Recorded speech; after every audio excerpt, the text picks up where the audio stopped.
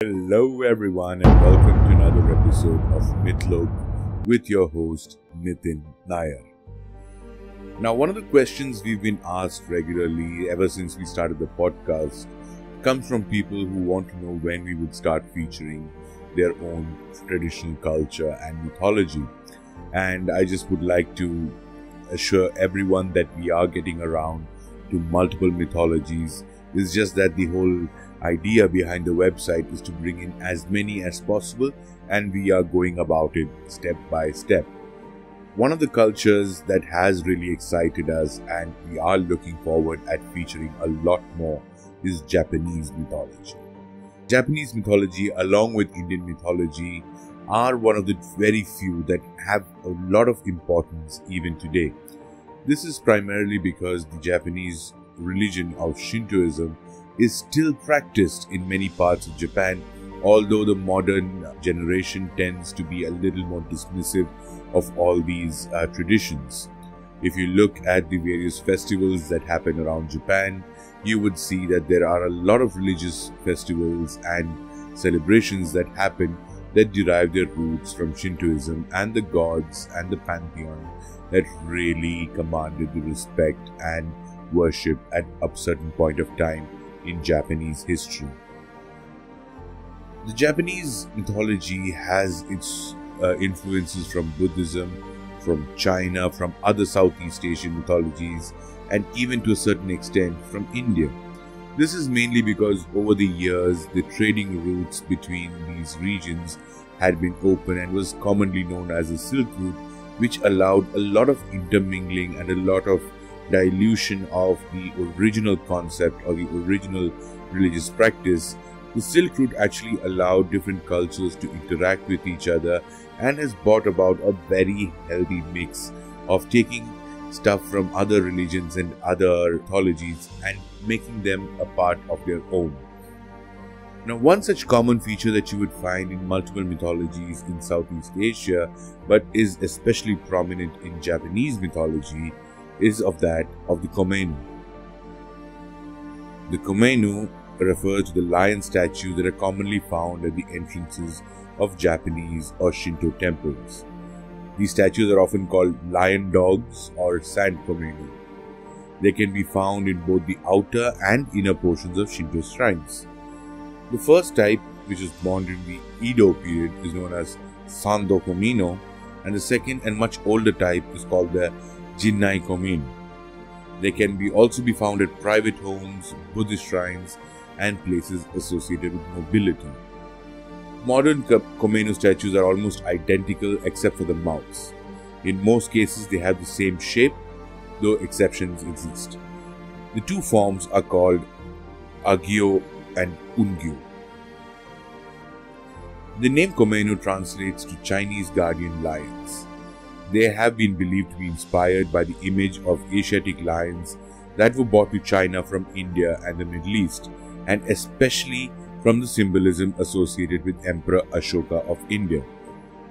Those familiar with Indian history know for a fact that the Emperor Ashoka, who had a symbol of four lions facing four different directions, each symbolizing a different character trait, and also the fact that they were looking in four different directions as guardians of the empire. This symbol is now commonly used in modern day India as well, part of the currency notes, part of the judicial system, and is one of the most prominent symbolisms associated with modern India.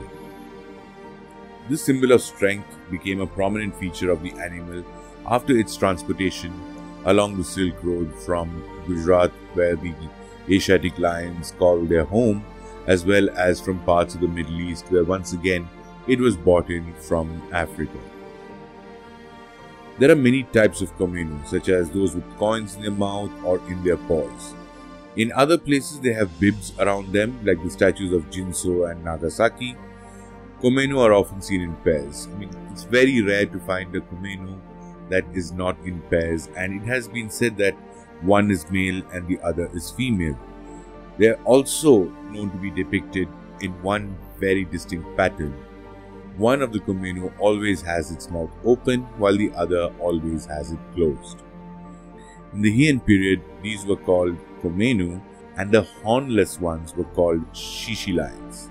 Though nowadays both are referred to as Komainu and have a distinct style that has been associated with all these statues.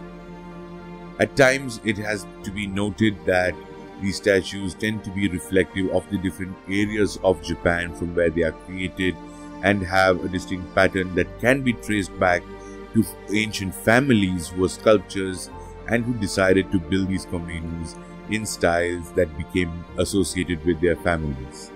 If you look around Japan, almost every temple has a komainu at its entrance, and now in modern times, this has been misappropriated by having the, a symbol of uh, Southeast Asian culture, with almost every other Chinese or Southeast Asian restaurant having a komainu in front of them. These lions, sometimes depicted in gold nowadays, were originally carved out of stone and were supposed to be menacing like a lion guarding your home instead of a dog. That is where the association of a lion dog came into existence as well. During the Nara period, which is similar to the rest of Asia, two lions always accompanied each other. These pairs were only used indoors until the 14th century. Uh, during the Heian period, like I mentioned, the two statues were different and the former was called Shishi because it had an open mouth, while the latter was referred to as Komainu or the Goguryeo dog. Probably the most common form of komainu that appears nowadays are the stone ones that are guarding the approachways of shrines.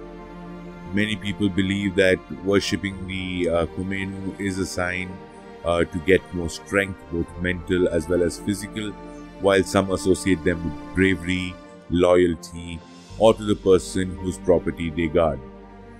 There are differences in styles in the type of komainu found at major shrines and rural areas as well as the artists who create these works. There are many styles that refer to regions in Japan, some of which are very distinctive and some which are beginning to disappear sadly. One particular style that is becoming less popular is the Izumo style, where the lions are not sitting but depicted as crouching with their rear end up in the air.